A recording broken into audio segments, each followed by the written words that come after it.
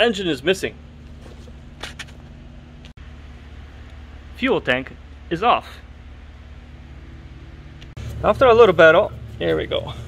Here's our wheel. Alright, quick run.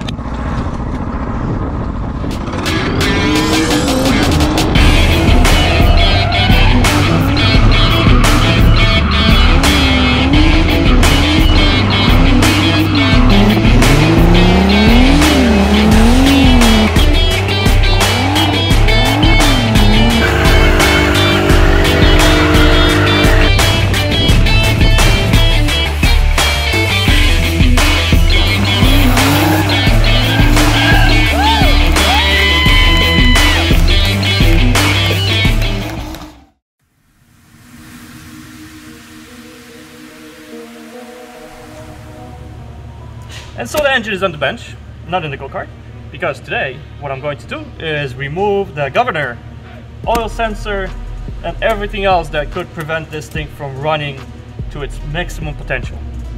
So let's get this going and let me show you how to remove a governor. Uh, this is a 10 mil, drain it, and obviously you might want to remove the plug to make sure there is nothing in there. I know I don't have anything in the engine. But here on top, what we have is all six 10 millimeter 10 millimeter bolts. I'm sorry.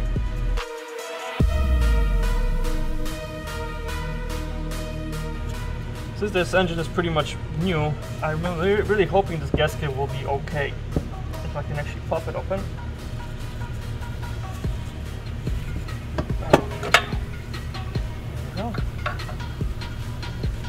Yes, our gasket is good, perfectly reusable.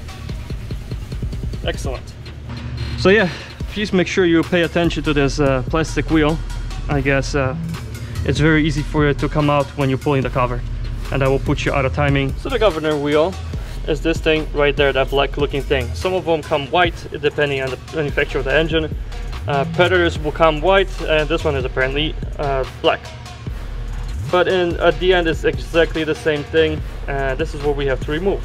In order to remove this arm, obviously we have to remove all the components that are connected to it. Uh, I would love to keep this portion. We'll see if I can. For now, I'm not going to touch it. Simply, I still want to sort of use the limiter uh, with the original cable so I can limit my sound whenever I need to. Well, first, let's pull the springs off of it. Needle nose pliers work best on that.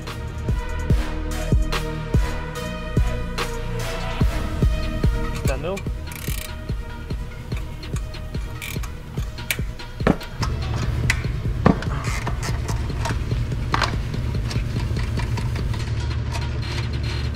Once we pop this off, use a screwdriver to pry it a little bit open and slide it off. Once again, slide it off. There we go. Oh, it won't fall because there is a cotter pin in here. Perfect. Once we have the arm, just basically remove it. Uh, if we remove the pin,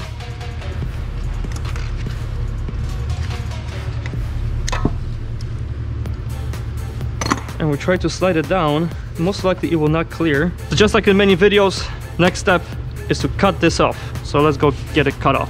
One thing I totally forgot to mention is this engine does not have an oil sensor, which is kind of surprising.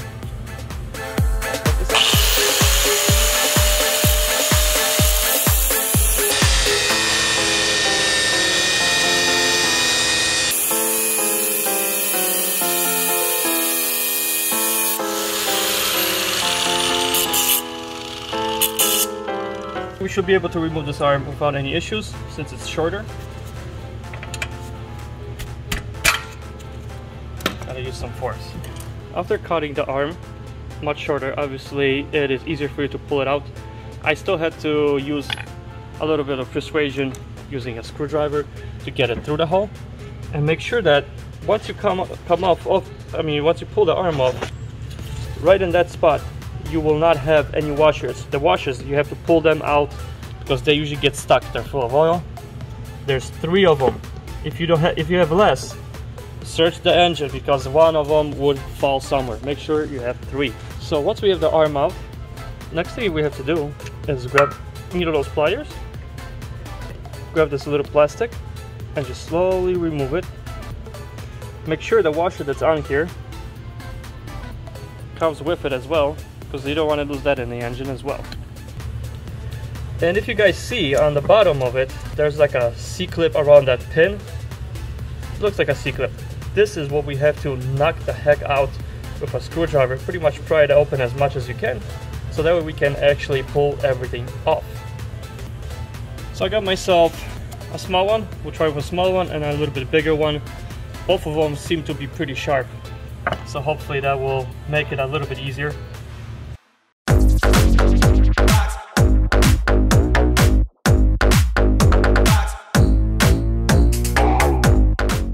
Punch tool, I was able to spread the ring a little bit on, to the sides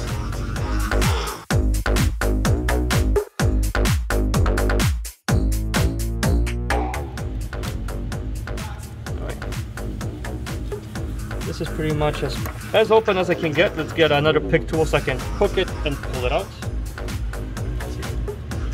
After a little battle, there we go. Here's our wheel. This little thing is responsible for all the issues that we're having as far as RPMs not going above 3000 or whatever is the rev limit on this engine. There's a washer right there, which we have to remove don't forget to remove that washer. Step, next step is to find a nut, uh, actually a bolt that we can put in here. Something similar to a bolt like this. Obviously a little bit bigger. We would have to make some threads and screw a bolt in with a uh, o-ring or uh, like one of those rubber washers whatever it is so that oil doesn't spill out of the engine. So I managed to find an, uh, a nut laying around. It wasn't in the bin, so I can't really tell. I mean, I could check. I'll try to check what uh, what size this is. But I managed to find a tap that actually will work with it.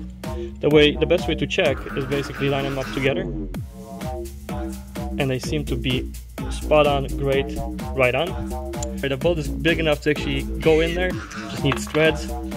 So this is the worst process of the whole thing, I will believe. I hate doing this, but we gotta do it. Let's grab some grease. Apply that grease on the end.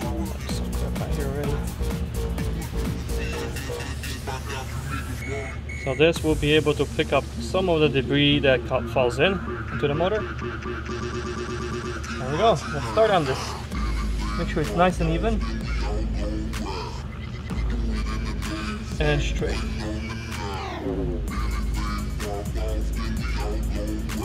Applying a little bit of pressure. Start turning. You can see it's already turning in.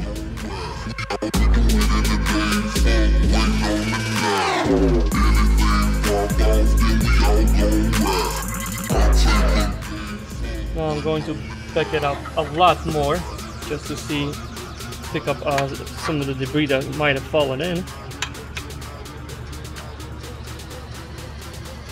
Yeah, there's plenty of it. So I'm gonna try to extract that with a you go. This off.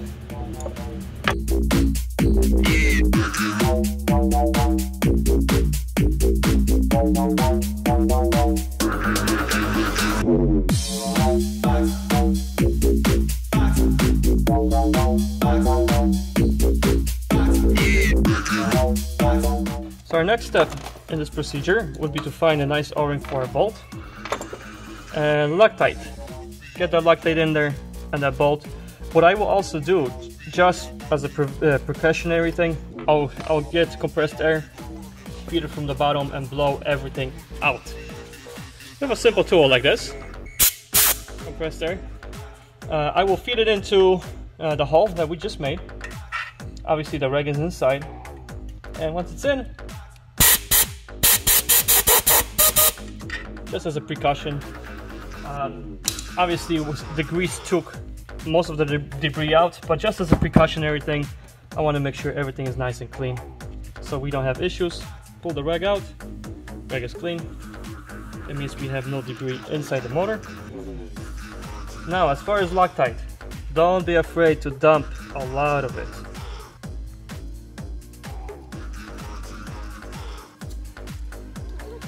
Make sure it's nice and tight.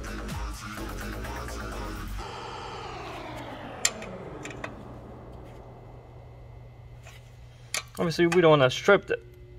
Yeah, this is good. We don't want to stri uh, strip the threads. So that, that's basically our go governor is removed. Next thing on the list will be just to quickly reassemble the engine. It is very time consuming, but definitely worth all the issues and troubles you're going through because ungoverned engine is a healthy engine, at least in my opinion.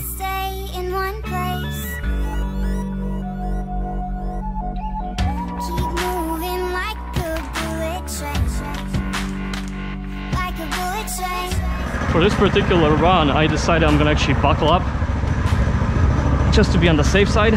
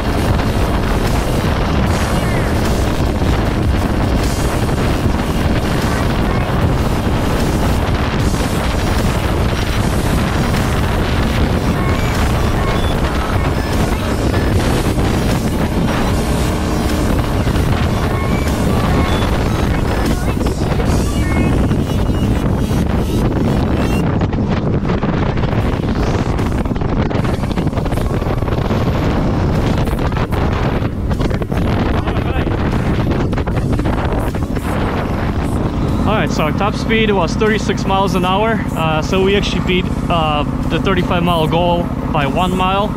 So I'm pretty I'm pretty satisfied with the result. Obviously we don't have any more up top RPMs well she moves. Hell yeah 10 mile an hour difference from what it used to be to what it is now. I'm fine with it. 36 miles an hour is a great number uh, right now my goal was 35, so we are one mile above what I was hoping to get. Uh, I kept all the original uh, limiting factors of this thing, so that way I can still make sure that it doesn't go more than 15 miles an hour as intended per OEM, uh, because the throttle will not open, obviously, as much. It is a blast to drive. It is a little bit harder to and more time consuming to actually take the governor out. As you guys have seen, it is a pain sometimes to get the little uh, C-clip from the governor wheel in order to pull that out. And also you have to remember to have all the washers out of there, otherwise the engine will seize up. Uh, we had a fresh oil change, everything is great, the Goka runs perfect. Uh, starts right away, made the pipe shorter, so now I, I can probably clear the tailgate and the pickup truck. The only thing I need to do is uh, do some more further testing uh, and save money for the stage 2, which stage 2 kit includes the flywheel, which I have not changed simply because I want to go stage 2. And that comes in the kit. So we're going to get a, a high lift camshaft, we're going to get a flywheel, 22 pound springs, and some other things I have uh, in my head that I want to change on this thing. Of course, we will change the rod as well.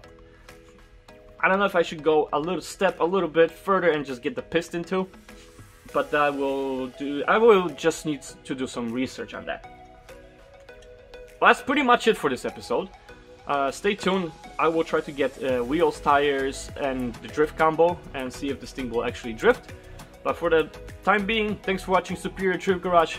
Ho I hope you guys like the content. Uh, share, subscribe, comment. I want you guys to comment as much as you can simply so I know what to do next. What's the next step I should take? Maybe I missed something. Maybe I didn't see something. I didn't do my research enough.